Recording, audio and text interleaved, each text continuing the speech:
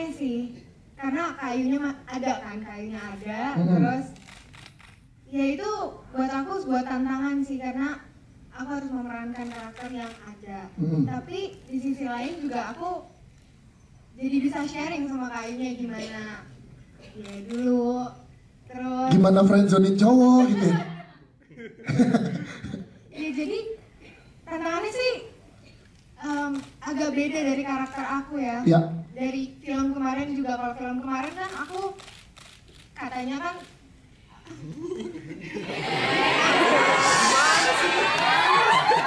Sasa itu digodain skala tadi. Ah, Sama skala gitu.